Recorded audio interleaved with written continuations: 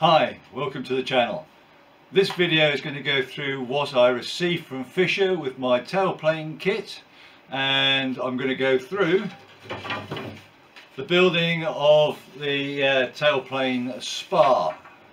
Uh, this is not an instructional video but you may get some hints and tips for how to do things when you build your own aircraft do follow their instructions. So without wasting any more time let's crack on with the video.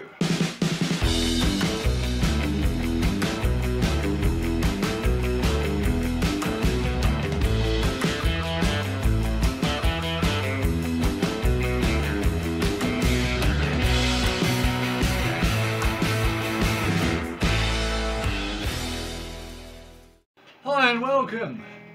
It's arrived so I'm excited. Here is the Fisher Tail kit in all its glory. Lots of pieces of stripped wood all labelled up with uh, tags on and I've been through checking the plans. As you can see uh, this is just the assembly plan but there are two large sheets uh, which show the things in full size came with uh, a set of resin, the uh, T88. Uh, I opted uh, to talk to Dave uh, Hertner and asked not to have the covering option which would normally come.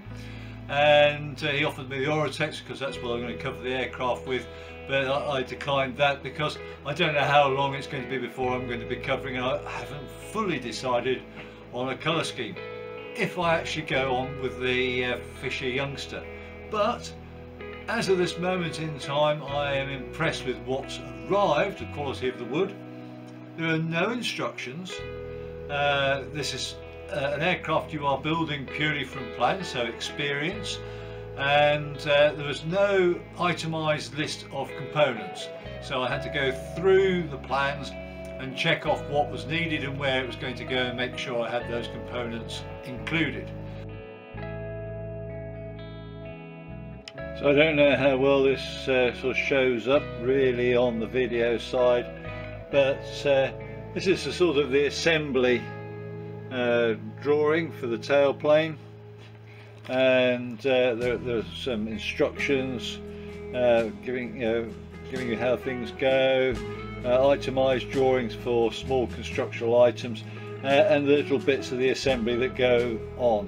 There's a couple of patterns involved on here and uh, there's some components which are needed for uh, later type assembly. And of course you know we've just got the tail kit. Uh, we've got no uh, no way that we're going to be setting up a range of controls. There's no uh, metal hardware that was included with this. Uh, at this stage it comes as part of the full aircraft so I haven't got any of the hinges all the horns all the material to make horns or anything like that So uh, looking at uh, the wood material, uh, lots of spruce, lots of strip wood, uh, and it's all labelled. And these labelled marks which are on here uh, refer to various parts on uh, the, the plans. So from what I've got so far, if it's got a W on it, it's for the tail plane and if it's got an F on it it's to do with the, uh, the vertical fin and rudder. And we've got good quality uh, plywood uh, strips for doing uh, the gussets and closure panels. And the, uh, the spars for the tailplane come slightly shorter. It reduces the shipping cost by a huge amount. They've been uh, cut uh, for a sort of scarf joint because you need to scarf them together to get them to full length. As I said earlier in the video there's a requirement for scarf joints. Uh, this has been done by Fisher for keeping the price down for posting this particular kit and to practice the skills required for things like longerons on the, the fuselage. So uh, for us in the UK it's a 1 in 10 to 1 in 12 taper and as this is three quarters of an inch thick. Then really we'd be wanting to have at least a seven and a half inch uh, length of scarf. And this is six and a quarter. So we'll go ahead and I will show you how I do my scarf tapers.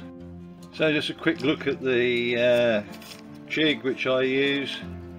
Uh, that's the taper bed which I can set at different angles as you can see here. I can set that to different tapers. Uh, the piece of wood lies on here.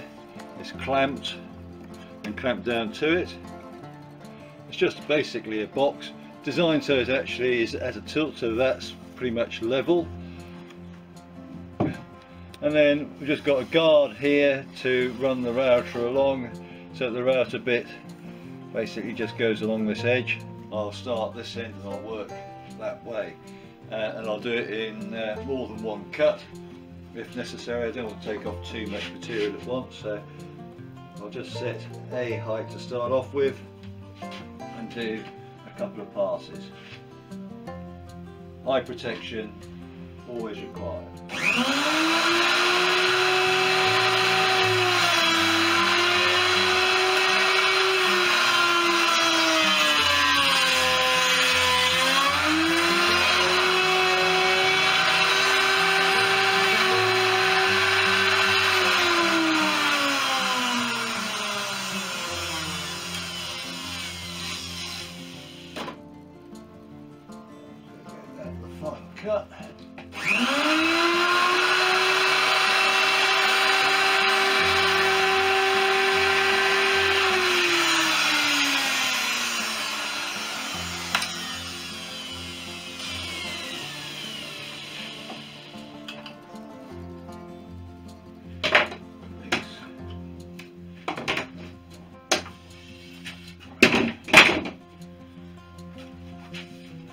Uh, just a, a light sand.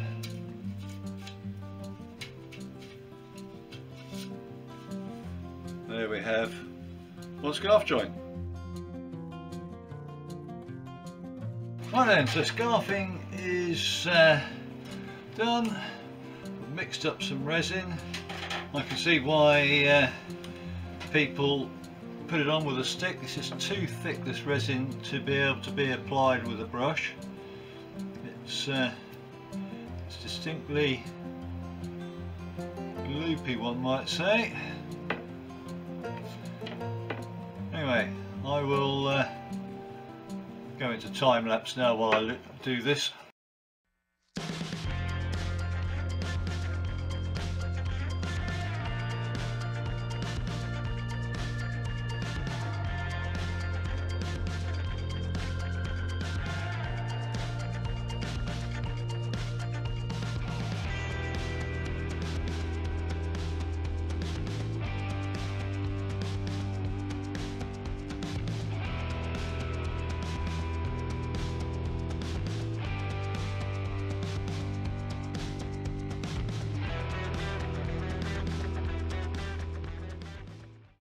So this is where things, uh, I do things possibly slightly different to other people. I've got this edge here which is uh, holding everything straight.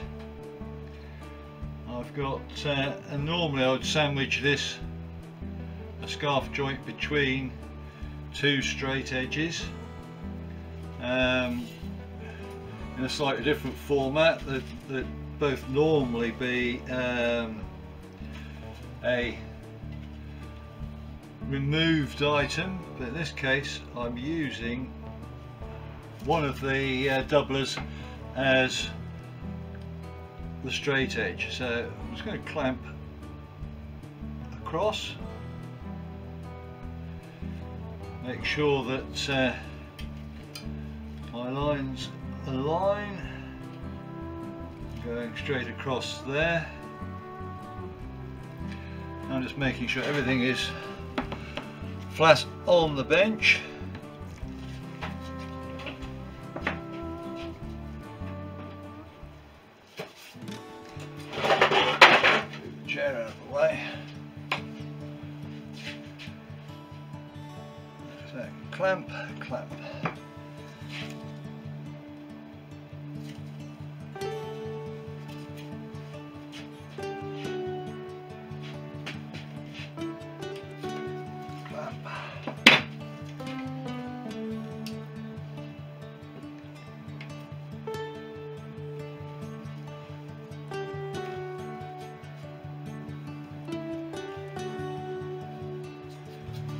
Right, as you can see, uh, I've clamped this up, just making sure everything is level, same height,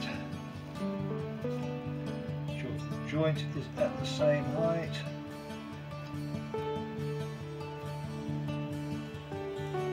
Uh, I'm getting squeezed out all the way along, so I know I've got enough glue in the joint.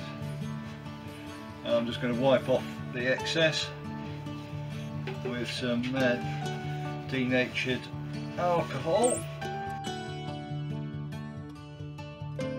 Let's see what we've got. Uh, seems to be uh, a reasonable joint. A little bit of a no void there, it's just uh, the, the resin sunk slightly. As you can still see I clamp either side of the scarf joint, I don't actually clamp on the scarf joint. Let's see what happens when we get these clamps off.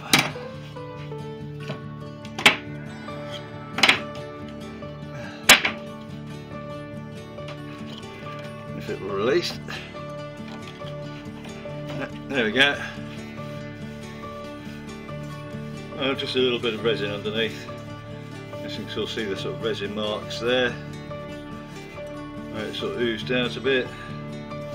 But uh, yeah, all in all, not a bad job. So, task to do, task done. In the next episode, I will be looking at uh, creating the laminated leading edge of the tailplane so hopefully that'll be good. Thank you for watching. If you enjoyed the video please hit the thumbs up.